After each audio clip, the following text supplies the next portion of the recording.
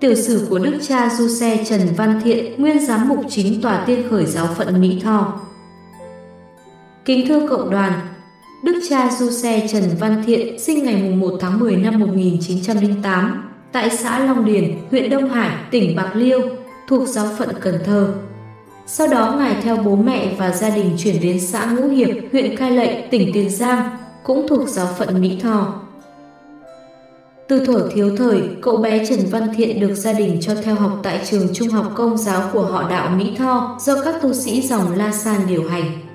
Những khoảng thời gian ngoài giờ học, cậu về sinh hoạt cùng gia đình tại xã Ngũ Hiệp.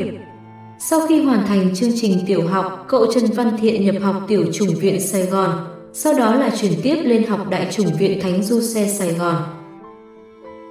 Ngày 21 tháng 9 năm 1935, thầy phó tế Du Xe Trần Văn Thiện được phong chức linh mục tại Sài Gòn. Sau khi được phong chức linh mục, cha Du Xe Trần Văn Thiện được bổ nhiệm làm linh mục phó giáo họ Mạc Bắc thuộc tỉnh Vĩnh Bình.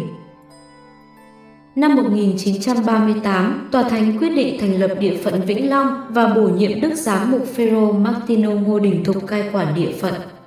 Cha Du Xe Trần Văn Thiện gia nhập địa phận Vĩnh Long. Năm 1939, Ngài được Đức cha Phêrô Martino Ngô Đình Thục cử đi du học ở Pháp theo diện học bổng của Tòa Thánh. Sau 7 năm tu học tại ngoại quốc, Năm 1947, cha Xe Trần Văn Thiện trở về nước và được bổ nhiệm làm Giám đốc chủng viện Á Thánh Minh tại Vĩnh Long. Ngài là một nhân tố quan trọng đóng vai trò củng cố chủng viện Á Thánh Minh. Chủng viện này là chủng viện đầu tiên do giáo sĩ Việt Nam thiết lập ở miền Nam Việt Nam. Đầu năm 1956, cha Du Xe Trần Văn Thiện được bổ nhiệm làm linh mục chính sở họ đạo Bãi San thuộc tỉnh Vĩnh Bình. Năm 1957, Ngài đã đại tu nhà thờ Bãi San, trong đó bao gồm việc làm mới mặt tiền nhà thờ, mở rộng diện tích hai bên, sắp xếp lại gian cung thánh và thay lại các cột trụ thành bê tông. Tuy nhiên, sau khi công trình tháp chuông nhà thờ mới khởi công được vài tháng, thì cha du xe Trần Văn Thiện lại được bổ nhiệm và thuyên chuyển đến nơi khác.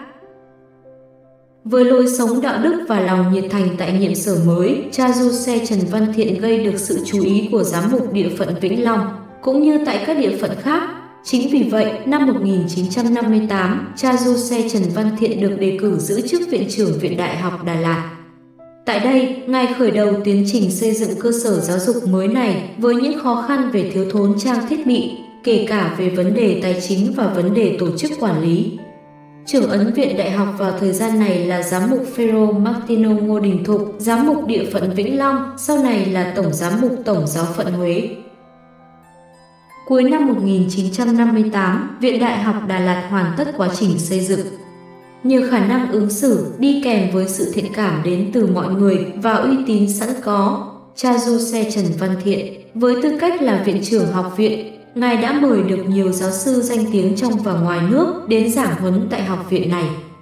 Trong số các giáo sư được mời có nhiều linh mục và tu sĩ nổi tiếng đến từ các dòng tu định hướng giáo dục như dòng tên, dòng Đa Minh, Hội Linh mục Xuân Bích, dòng La San, vân vân.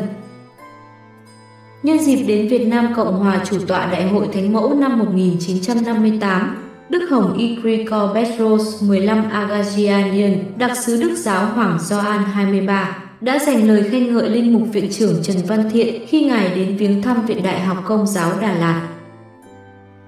Ngày 24 tháng 11 năm 1960, Đức Giáo Hoàng Gioan 23 công bố việc thành lập tân giáo phận Mỹ Tho, đồng thời bổ nhiệm Linh Mục Du Xe Trần Văn Thiện làm giám mục chính tòa tiên khởi của giáo phận này. Giáo phận Mỹ Tho vốn từng là một phần lãnh thổ được tách ra từ Tổng giáo phận Sài Gòn. Thánh lễ tấn phong cho tân giám mục Du Xe Trần Văn Thiện được cử hành vào ngày 22 tháng 1 năm 1961 tại Vương cung Thánh đường, Đức Bà, Sài Gòn. Cùng tấn phong trong thánh lễ này, ngoài Đức cha Du Xe Trần Văn Thiện còn có ba tân giám mục khác là Đức cha Philippe Nguyễn Kim Điền, Đức cha Michael Nguyễn Khắc Ngữ và Đức cha Anton Nguyễn Văn Thiện. Ngày 5 tháng 4 năm 1961, Đức cha Du Xe Trần Văn Thiện đã cử hành thánh lễ tạ ơn và chính thức nhậm chức giám mục chính tòa giáo phận Mỹ Thọ. Đức cha Du Xe Trần Văn Thiện là một trong số các nghị phụ người Việt Nam tham dự công đồng Vatican II. Ngài là người đã tham dự đầy đủ 4 phiên họp khoáng đại của công đồng, kéo dài từ năm 1962 đến năm 1965. Năm 1963, với biến cố khiến Đức Tổng Giám mục Ferro Martino Ngô Đình Thục không thể trở về Việt Nam, Hội đồng Giám mục Việt Nam đã nhóm họp và bầu chọn Đức cha Du Xe Trần Văn Thiện làm trưởng ấn Học viện Công giáo Đà Lạt thay cho Đức Tổng Giám mục Ngô Đình Thục. Ngoài chức trưởng ấn viện công giáo thuộc Hội đồng Giám mục, Ngài cũng từng giữ chức Chủ tịch Ủy ban Giám mục Truyền giáo Việt Nam. Nhận thức về việc giáo dục văn hóa là cầu nối quan trọng trong việc truyền giáo. Đức cha Du Xe Trần Văn Thiện cho thiết lập các trường dạy văn hóa ở các giáo xứ. Ngoài lĩnh vực giáo dục, Ngài còn quan tâm đến lĩnh vực từ thiện xã hội. Tính đến năm 1964, giáo phận Mỹ Tho quản lý 5 bệnh viện với tổng số 651 giường bệnh, có 6 cô nhi viện, một viện dưỡng lão, 6 phòng phát và cấp thuốc, 6 nhà hộ sinh. Caritas giáo phận Mỹ Tho cũng quan tâm đến những người khó khăn, học sinh nghèo, tổ chức dạy nghề trên tinh thần không phân biệt tôn giáo hay địa phương sinh sống. Đức cha Du Xe Trần Văn Thiện đã tiến hành việc xây dựng tòa giám mục Mỹ Tho và tiểu chủng viện Gioan 13. Ngài cũng quan tâm đến các tổ chức công giáo tiến hành, đồng thời cho phát hành Nguyệt San Đồng Tháp của giáo phận. Đức cha Du Xe Trần Văn Thiện đã thoát chết trong một cuộc tấn công mưu sát diễn ra ngày 28 tháng 8 năm 1964, sau khi Ngài đến trấn an tình hình tại một trường công giáo đang trong tình trạng bị bao vây. Một nhóm người theo tư tưởng Cộng sản được cho là chỉ huy cuộc tấn công này. Cụ thể, đám đông đã đập vỡ kính xe và phá hủy nóc xe của đức cha du xe Trần Văn Thiện. Ngài được những người lính đưa vào trong trường trước khi những kẻ tấn công kịp ra đòn. Ngày 5 tháng 9 năm 1965, Đức cha Du Xe Trần Văn Thiện cử hành thánh lễ kính nhớ các chân phước tử đạo Việt Nam tại nhà thờ Đức Bà Sài Gòn. Tham dự thánh lễ gồm các binh sĩ, thủy thủ, sinh viên và các nhóm công giáo tiến hành được đưa đến địa điểm tổ chức thánh lễ bằng xe tải của Việt Nam Cộng Hòa. Cuối tháng 5 năm 1966, trong buổi nói chuyện tại Đại học Công giáo Đà Lạt, Đức cha Du Xe Trần Văn Thiện nhận định Công đồng Vatican II là dấu chỉ cho việc giáo hội đã cập nhật hóa và đối thoại với thế giới hiện đại. Ngài được Hội đồng Giám mục Việt Nam đề nghị làm thành viên Thánh bộ truyền giáo thuộc giáo triều Roma. Theo yêu cầu của Tòa Thánh là mỗi quốc gia có một đại diện làm thành viên trong bộ truyền giáo. Việc đề nghị này của Hội đồng được Thánh bộ truyền giáo chấp thuận vào ngày 3 tháng 1 năm 1968. Trong phiên họp ngày 3 tháng 5 năm 1968, Hội đồng Giám mục Việt Nam cũng bầu chọn lại các vị trí nhân sự Đức cha Du Xe Trần Văn Thiện tái đắc cử vai trò trưởng ấn Viện Đại học Đà Lạt. Ngày 8 tháng 7 cùng năm 1968, Đức cha Du Xe Trần Văn Thiện đã có cuộc ý kiến riêng với Đức giáo Hoàng Phaolô VI tại giáo triều Roma. Tại khóa hội thảo lần thứ 7 về chủ đề truyền bá phúc âm toàn quốc tổ chức vào giữa tháng 11 năm 1974 tại Nha Trang, Đức cha Du Xe Trần Văn Thiện tham gia với tư cách đồng chủ tọa, Ngài đã đồng ký tên vào quyết nghị về vấn đề tôn kính tổ tiên của người công giáo. Nhờ sự quan tâm đến lĩnh vực đào tạo giáo sĩ và tu sĩ của Đức cha Du Xe Trần Văn Thiện, số lượng linh mục giáo phận tăng mạnh. Năm 1974 giáo phận có 71 linh mục so với con số 43 linh mục khi thiết lập giáo phận vào năm 1960. Ngoài ra, tại thời điểm năm 1974 còn có 78 đại chủng sinh đang trong quá trình tu học. Với quá trình thay đổi địa giới hành chính thời hậu chiến, giáo phận Mỹ Tho có địa giới gồm tỉnh Tiền Giang, tỉnh Long An và 2 phần 3 tỉnh Đồng Tháp. Để chuẩn bị nhân sự cho giáo phận, ngày 6 tháng 6 năm 1975, Tòa Thánh bổ nhiệm Linh mục Andre Nguyễn Văn Nam làm giám mục phó với quyền kế vị. Thành lễ tấn phong cho tân giám mục đã được Đức cha Giuse Trần Văn Thiện cử hành với vai trò chủ phong vào ngày 10 tháng 6 cùng năm.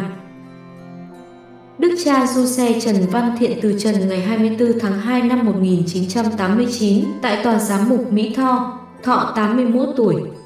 Thánh lễ an táng cử hành vào ngày 27 tháng 2, thi hài Đức Cố Giám mục được an táng tại gian cung thánh nhà thờ chính tòa Mỹ Tho.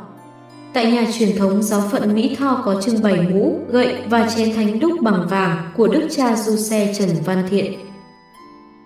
Sau khi Đức cha Du Xe Trần Văn Thiện qua đời, Đức cha Phó Andre Nguyễn Văn Nam chính thức kế nhiệm chức vụ giám mục chính tòa giáo phận Mỹ Tho. Nhân dịp kỷ niệm 60 năm thành lập giáo phận Mỹ Tho, sau khi tham khảo ý kiến các linh mục, Đức cha Phêrô Nguyễn Văn Khảm, giám mục chính tòa giáo phận đã quyết định thành lập quỹ khuyến học du xe Trần Văn Thiện. Quỹ này được thành lập với mục đích hỗ trợ cho các giới trẻ thuộc các gia đình khó khăn, không có khả năng đến trường. Trong thời gian đảm trách cương vị giám mục giáo phận Mỹ Tho, Đức cha Du Xe Trần Văn Thiện đã tiến hành xây dựng tòa giám mục giáo phận, Năm 1961, Ngài cùng với Đức cha Philippe Nguyễn Kim Điền, giám mục giáo phận Cần Thơ, đồng sáng lập đệ tử viện truyền giáo thuộc phường 5 thành phố Mỹ Tho. Năm 1965, Đức cha Giuse Trần Văn Thiện cho thành lập tiểu chủng viện Gioan 23 và cho thuyên chuyển ban giáo sư cũng như nhân sự của đệ tử viện sang tiểu chủng viện mới thành lập này. Lý do chọn tên tiểu chủng viện là Gioan 23 là nhằm ghi dấu biến cố trọng đại công đồng Vaticano II xảy ra trong triều đại Đức Giáo Hoàng Gioan 23. Ngoài ra, Ngài còn thành lập các trường trung học và tiểu học Thánh Du Xe, trường Dạng Đông, trường Thánh Gioanna.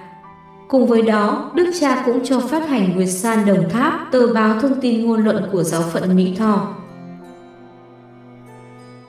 Kính thưa cộng đoàn, như vậy, Đức cha Du Xe Trần Văn Thiện đã qua đời ở tuổi 81 với 54 năm linh mục và 29 năm trong sứ vụ giám mục. Chúng ta cùng hiệp ý cầu nguyện cho Ngài sớm được về hưởng tôn nhan Chúa. Trên đây là tổng hợp những thông tin về tiểu sử của Đức cha cố Du Xe, chắc chắn là không thể tránh khỏi những thiếu sót. Nếu quý vị có thông tin cần bổ sung hoặc đóng góp ý kiến, xin vui lòng gửi cho chúng con bằng cách comment vào phần bình luận dưới video.